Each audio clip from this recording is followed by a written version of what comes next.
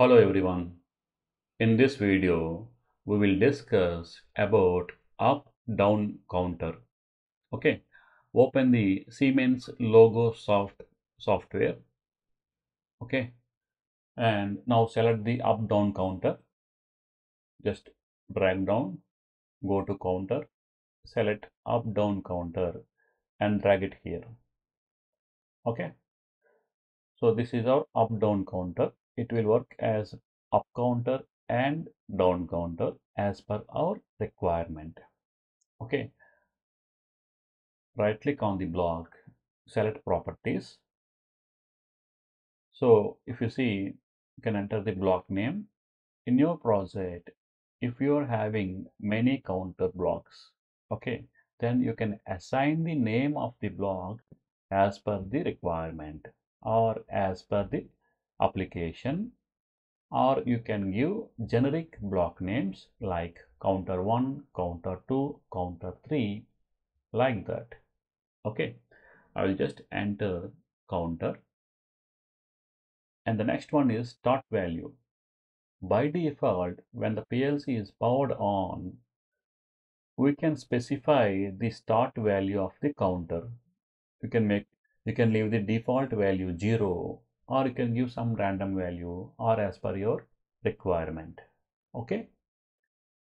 If you see this counter is having one output and three inputs. These inputs and output are digital. Okay? You can specify when we can turn on the counter output or when to turn off the counter output. Let's say when the counter is counting, when it reaches the value 5, I want the output to be on. Okay. And when the counter reaches value 8, I want the counter to turn off the output. Okay. This value is nothing but counting value. Okay click OK.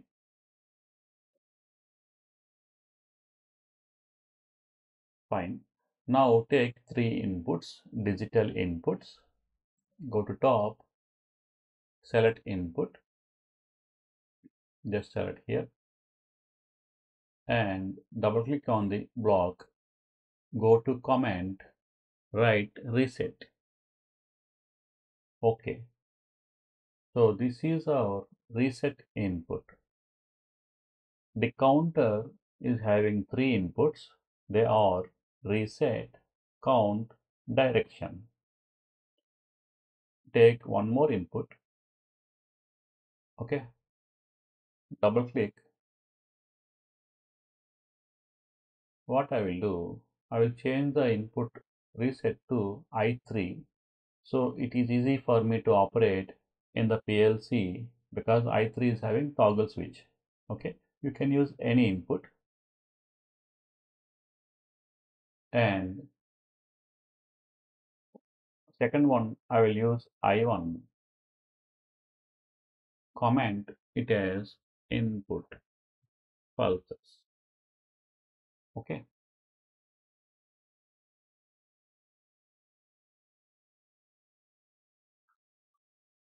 Okay I have to give it again. Reset.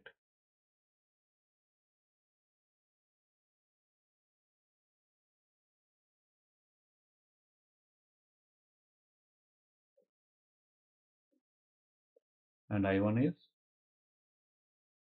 input pulses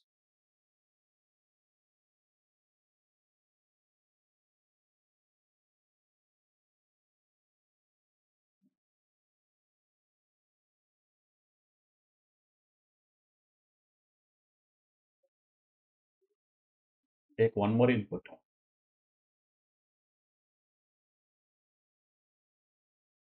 assign i4 comment is direction. So this input will decide whether the counter works as up counter or down counter. Okay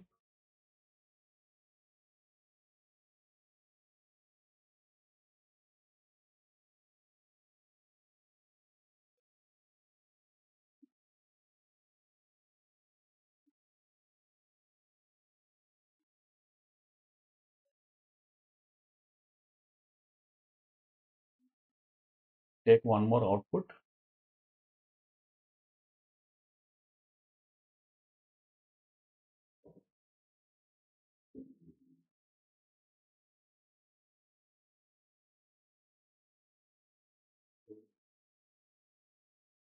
So connect input i3 with reset, input i1 with count, input i4 with direction.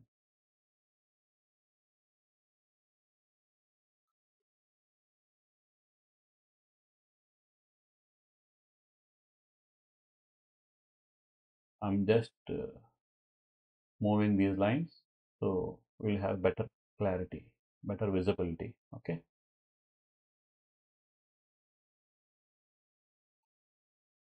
Okay. Now we will download the program to the PLC. Okay. So this is our PLC.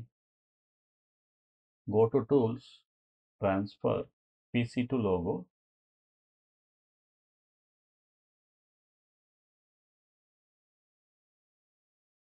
Select the IP address of PLC, click OK. Yes.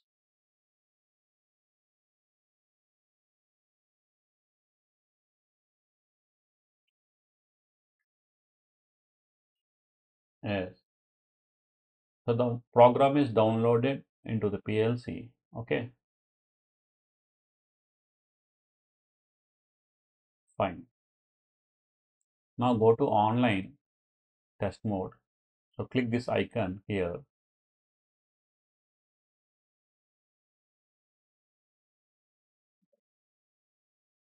Select the IP address. Click OK.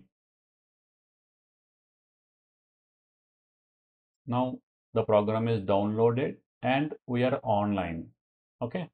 If you don't have the PLC, just do the simulation by clicking the simulation button. Okay. Now as per our logic, the output will be on when the count reaches value 5. Okay. So let's see. I will press the input I1, 1. See, the counter value is updated. It is 1. One more, 2. See, the input must be a pulse. It has to change from 0 to 1, 0 to high, low to high. Okay. Then only the counter will be updated. Let's say I will continuously press the input I1. See, the counter only updated one time the input is still on i1 is still on because i pressed and hold okay again releasing one more time i will press counter reaches value 4 if i press one more time then the output will be on. Because our setting is counter should be on when it reaches 5 or 5 plus. The counter is counter value is 5 now. Output 1 is on. You see here and here. In logic it is red color. That means on. In the real time the PLC hardware output 1 is on now I will press one more time. 6 output still on. 7 output still on. Because the condition is 5 plus. Either it has to reach value 5 and it has to be more than 5 also the output will be on. Output will off when the count reaches value 8 see here this is the 8 i will press one more time. The output will be off okay got it? This is the condition. One more time i will press. The counter will function. Just the output value the output either on or off depends on the condition. Okay depends on our values 5 and 8 here. You can give your own values. Now what i will do i will press the input i4 i will give it i will turn it on. Input i4 is on this is the direction bit right it will decide whether counter works as up down up counter or down counter now i will give input I1 again. See, the value is reducing here. Counting value is reducing because now it is working as down counter. Okay. Output is on because the value is 7. Okay. Now what I will do, I will turn off the I4. Now it is up counter. Okay. I will turn on the input I3. That means I'm giving the reset. Output is 0. Okay. The counting value is 0. Output is also off. The reset is still on. I will give pulses now. See. The counter is not working because the counter will function when the reset is off. The reset is having the high priority. Okay. When the reset is on, remaining inputs it will not consider. Okay. Reset must be off. Okay. So this is the up down counter. And you can also go to the simulation by clicking the sim icon. In simulation, I will show you one uh, uh, setting. For I1, just uh, right click, go to properties, go to simulation, go to frequency, enter 1H. What I am doing is the simulation software will automatically give the pulses in the frequency mode.